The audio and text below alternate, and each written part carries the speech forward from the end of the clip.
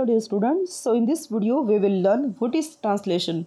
Translation તમારે BCom semester ફોરની અંદર દસ માર્કનું પૂછાય છે. તો દસ માર્કમાં તમારે ઇંગ્લિશ ટુ ગુજરાતી ટ્રાન્સલેશન કરવાનું છે. એટલે કે અંગ્રેજી વાક્યો અથવા તો અંગ્રેજી એક પેરેગ્રાફ આપેલો હશે અને એને તમારે ગુજરાતીમાં ટ્રાન્સલેટ કરવાનો છે. તો ટ્રાન્સલેશન માટે કોઈ પણ વ્યક્તિએ, એક તો સોર્સ લેંગ્વેજ અને ટાર્ગેટ લેંગ્વેજ એટલે કે જે ભાષા તમે વાંચો છો એ અને જે ભાષામાં તમારે ટ્રાન્સલેશન કરવાનું છે, એ બંને ભાષાની અંદર તમારે સારી એવી પકડ હોવી જોઈએ. તો સૌથી પહેલાં તો ટ્રાન્સલેશન કરવા માટે કઈ કઈ ગાઈડલાઇન તમારે ફોલો કરવાની છે, જે તમને એક્ઝામમાં ટ્રાન્સલેશન કરવા માટે ખૂબ જ ઉપયોગી થશે. તો પહેલાં આપણે એ જોઈએ છે. Don't haste read the whole passage carefully સૌથી પહેલાં તો તમને કદાચ દસ માર્કના વાક્યો આપે અથવા તો દસ માર્કનો એક પેરેગ્રાફ આપે, તો સૌથી પહેલાં તો તમારે વાક્યો અથવા તો પેરેગ્રાફને ધ્યાનપૂર્વક વાંચી જવાનો છે. ફકરાની પહેલી લીટી વાંચતાની સાથે જ તેનું ભાષાંતર કરવાની શરૂઆત ન કરવી, પણ આખા પેરેગ્રાફનું મિનિંગ અથવા તો આખા વાક્યનું મિનિંગ સમજી અને પછી તમારે જે સ્પેલિંગ જે છે પ્રોપર એના ગુજરાતી મિનિંગ લખી લેવાના છે બાજુમાં અને પછી આ રીતે તમે તમે એનો સેન્ટેન્સની અંદર તમે ફ્રેમ કરી શકશો.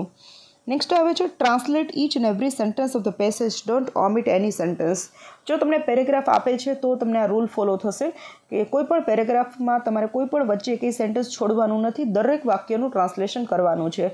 એ રીતે તમને જે વાક્ય આપેલું છે, તો વાક્યમાં દરેકે દરેક ભાગનું ટ્રાન્સલેશનમાં એનો મિનિંગ આવી જવો જોઈએ. કોઈ પણ શબ્દ કે કોઈ પણ જે ભાગ છે, છૂટો ન પડવો જોઈએ.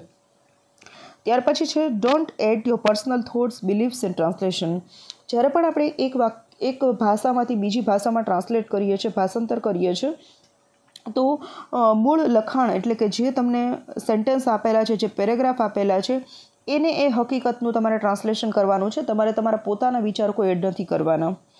નેક્સ્ટ છે don't be rich don't try to translate word to word try to bring the beauty of the given language as much as possible word translating તમારે બહુ જડ નથી બનવાનું તમારે શબ્દ એ શબ્દનું ટ્રાન્સલેશન નથી કરવાનું પણ તમારે સેન્ટેન્સ વાંચવાનું છે એનો મિનિંગ સમજવાનો છે અને પછી તમારે એ રીતે ટ્રાન્સલેટ કરવાનું છે કે તમારો ઇંગ્લિશ સેન્ટેન્સ તમે ગુજરાતી જે કરો છો તો એમાંથી પણ એનો સેમ મિનિંગ નીકળે Uh, if needed, try to synthesize or desynthesize sentence of the given passage. Use lucid language. જો તમને પેરેગ્રાફ આપવામાં આવેલો છે, તો તમારે એક વસ્તુ ખાસ યાદ રાખવાની છે કે તમારે બહુ મોટા મોટા વાક્યો હોય, ત્રણથી ચાર લાઇનના, તો એના નાના નાના વાક્યો બનાવીને ટ્રાન્સલેટ તમે કરી શકો છો.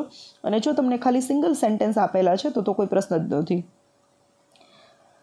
બીજું છે language of translation should be as simple and easy ટ્રાન્સલેશનની જે લેંગ્વેજ છે, એ સૌથી સિમ્પલ અને એકદમ ઇઝી હોવી જોઈએ. વધારે આર્ટિફિશિયલ અને અનનેસેસરી વર્ડ્સનો યુઝ નથી કરવાનો.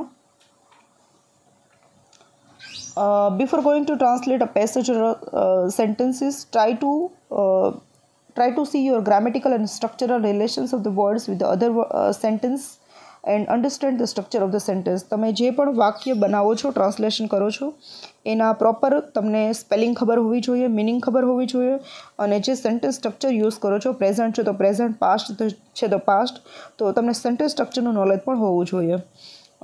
ત્યાર પછી આવે છે કે કદાચ તમને પેરેગ્રાફ આપેલો છે, તો દરેક શબ્દે શબ્દનું ટ્રાન્સલેશન નથી કરવાનું, પણ એનો જે પ્રોપર મિનિંગ તમે જે લેંગ્વેજમાં ટ્રાન્સલેટ કરો છો, એનો પ્રોપર મિનિંગ જળવાઈ રહી, એનું ધ્યાન રાખવાનું છે.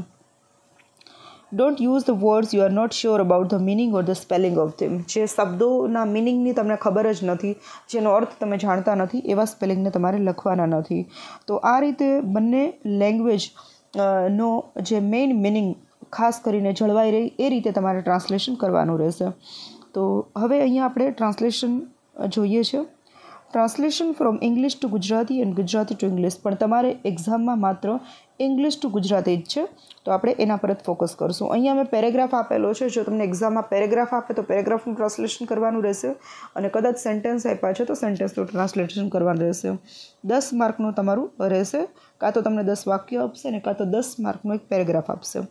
પહેલું છે experience is a best teacher તો એક્સપિરિયન્સ એટલે કે અનુભવ. અનુભવ શ્રેષ્ઠ શિક્ષક છે. તો આ રીતે એનું ટ્રાન્સલેશન થશે.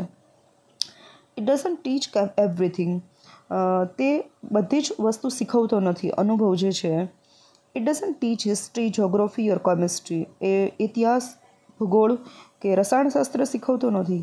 What teach is is art of living એ જે શીખવે છે, એ જીવન જીવવાની કળા છે. Nothing else can teach this subject as good as experience does કોઈપણ વ્યક્તિ એ સબ્જેક્ટ એવી રીતે ન શીખવી શકે જેટલું, જેટલો સારી રીતે એક્સપિરિયન્સ શીખવે છે, અનુભવ શીખવે છે. Experience is a strict teacher experience એક કડક શિક્ષક છે. And it charges very high fees અને ખૂબ વધારે આકરી ફીસ લે છે. It punishes severely for mistakes તમારી ભૂલો માટે તમને ખૂબ જ આકરી સજા પણ કરે છે. But it teaches its lesson thoroughly પણ એ જીવનના લેસન પણ, પાઠ પણ સંપૂર્ણપણે તમને શીખવે છે. તો આ રીતે તમે જોઈ શકા કે ઇંગ્લિશમાંથી જ્યારે પણ આપણે ગુજરાતમાં ગુજરાતીમાં ટ્રાન્સલેટ કરીએ છીએ, તો એનો મિનિંગ છે, એનો અર્થ છે, એ જળવાઈ રહેવો જોઈએ. બસ, અને એનું તમારું સેન્ટેન્સ સ્ટ્રક્ચર પ્રોપર હોવું જોઈએ સ્પેલિંગ સાચા હોવા જોઈએ.